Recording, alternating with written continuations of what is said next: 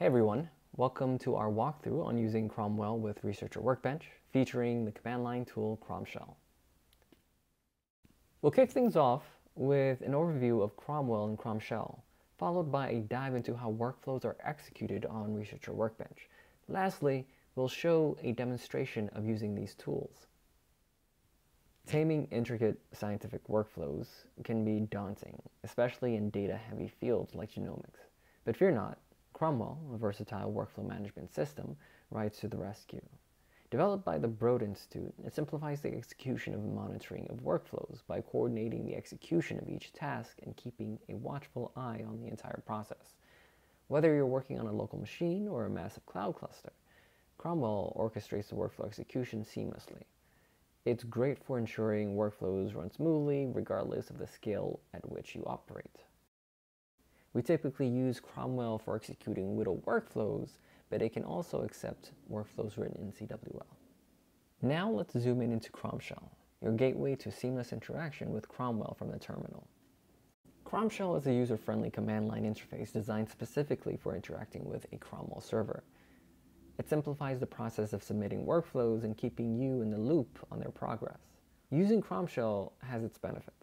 The tool allows you to stay comfortably on the command line to both develop and test your workflows.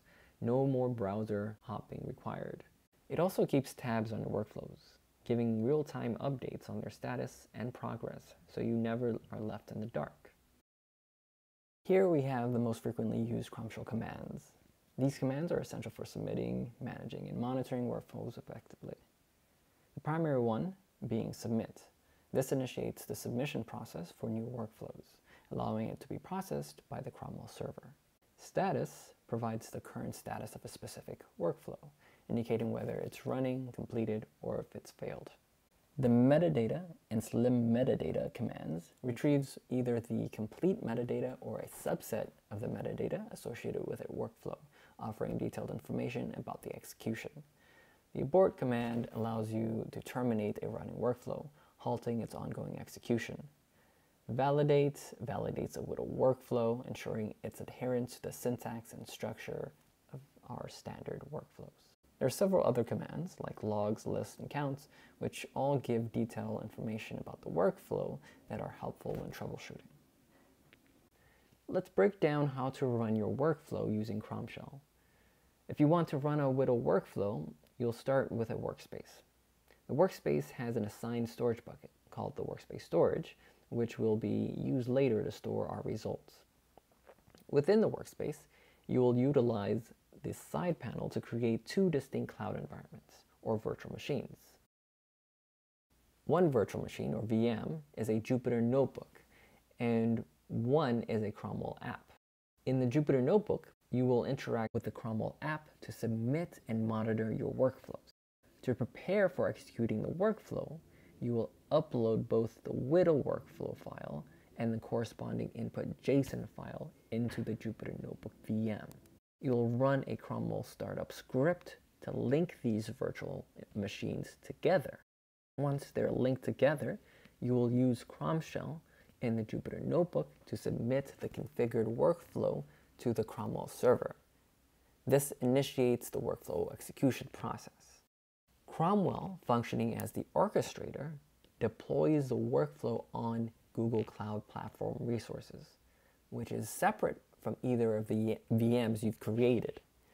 When the workflow is completed, Cromwell ensures the storage of the workflow logs and output in the designated workspace bucket, thus concluding the workflow execution cycle. Next, we'll do a demonstration of running Cromshell on Researcher Workbench to run a workflow using Crom a Cromwell server. If you wanted to follow along, you can clone a version of the uh, notebook that I will be running. You'll find this notebook in the featured workspaces in Researcher Workbench. To get there, click on the hamburger menu on the top left, then click on featured workspaces on the left panel, once you head over to the Researcher Workbench workspace library of featured workspaces, um, you'll spot the workspace. It's titled How to Run WDLs using Cromwell in Researcher Workbench. So what you'll want to do is um, duplicate or clone a version of this workspace for your own. Here is my duplicate version of the workspace. The first thing we'll want to do in our workspace is create the virtual machines for our Cromwell application or our Cromwell server and also create our uh, virtual machine VM for our Jupyter notebook. You'll do that again at the on the right hand panel. So here, uh, clicking on the um, Cromwell icon, I'll create a Cromwell cloud environment just by clicking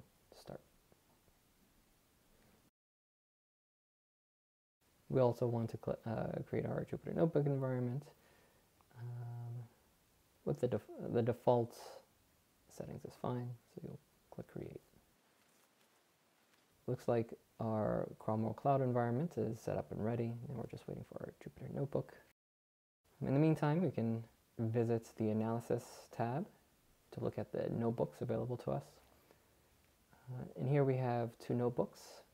We're running workflows using Cromwell and validate VCFs with Cromwell. The notebook we're focused on is running workflow using Cromwell. I'll click that. Okay, so here we have our notebook um, opened. Our Cromwell app for VM and our Jupyter Notebook VM are ready. We'll get started with this notebook. I'm going to run this notebook in playground mode. I'll click on that. Now that we have our notebook open, this tutorial notebook on running Cromwell, um, at the very top, we have a list of the things that you'll be doing in the notebook. Let's go over them really quickly. So first we'll be setting up the notebook to run with Cromwell, meaning we'll be executing that script that links this, this notebook virtual machine with our Cromwell virtual machine. Next, we'll import and set up our WDL. So we'll just, yeah, we're importing our WDL and input JSON. Next, we'll execute that WDL, after which we'll uh, run some Cromshell commands, like checking the status of our workflow, checking the logs, getting the metadata, um, other commands to perform some debugging steps, some practicing debugging. Lastly, we'll look at the outputs and calculating workflow cost. Um, there's a bit of information, a lot of details in this notebook feel free to run through it on your own time. Okay, the first step here is to set up our environment of start time and also our workspace buckets associated with this workspace. So we'll execute that. We'll list our workspace bucket. Next, we will run the script that links our Jupyter Notebook virtual environment with our Cromwell. And this is the script here. If you were creating your own um, Jupyter notebook and you wanted this uh, script in your notebook, you can access the script by going over to snippets and clicking on all of us Cromwell setup Python snippets. This has the code easily accessible to you. So if we were to click on this, let's click on it that script will be automatically added to your notebook. Okay, I'm going to delete that now since we don't need it. We already have one. This notebook already came with one. So I'll go ahead and execute this. Okay, once that's finished running, we'll move on to the next uh, section, which is getting the latest version of Cromshell. So here we're installing Cromshell or updating Cromshell um, using this pip command. Once that's done, we're going to confirm what version we have. Just make sure it's Cromshell 2 and higher. So it's Cromshell 2.11. It's great. Uh, we'll move on to the next section, which is loading our WDL and JSON files that we want to execute. There's a few ways to do this. You can upload the file from your local machine or copy the file from a cloud, um, a cloud storage environment using GSUtil, or you can copy the contents and paste it into uh, a code cell in this section. And in this tutorial, we'll be following along with option three. So this, is, this has already been done for us. The contents of a WDL has been added to the cell, and this will create a um, file called validate underscore VCF WDL that we'll use in the tutorial. Let's run this. So now there should be a file within our Jupyter Notebook called uh, validate underscore VCF WDL, and this is the WDL uh, name or the WDL that we'll be executing. Along with the WDL, um, we also have an input JSON file that we'll create here as well.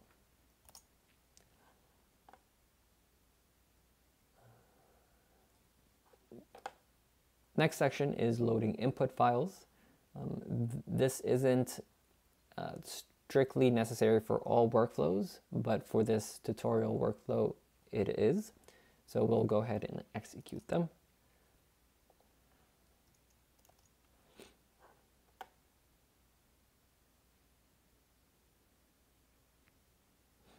Once our inputs have been uh, loaded, along with our WDL and input JSON, now we're ready to execute our WDL.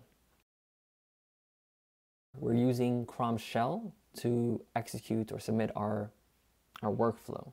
Cromwell will send our WDL along with our JSON input over to our Cromwell server, where Cromwell will execute the, um, the WDL on Google's backend. To submit a workflow to Cromwell using Cromshell, to submit a workflow, you'll use this Cromshell command. It goes like this.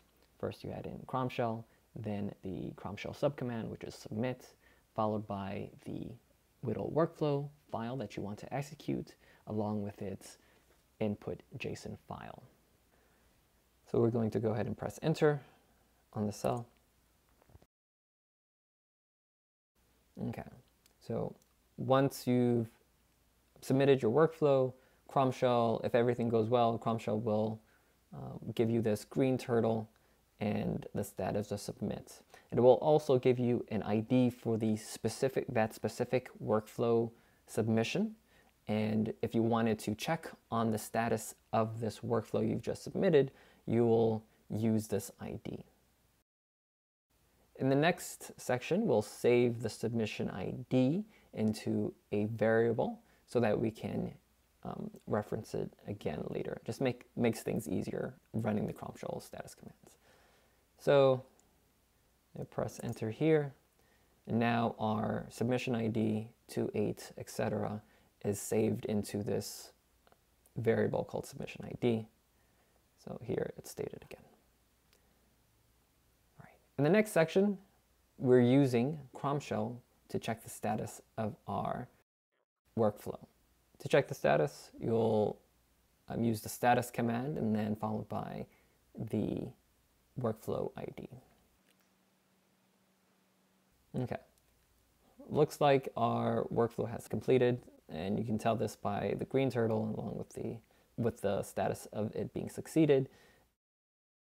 The next cell offers a useful Python function that runs the Cromshell status command on the submitted workflow repeatedly every 20 seconds until it receives a successful status.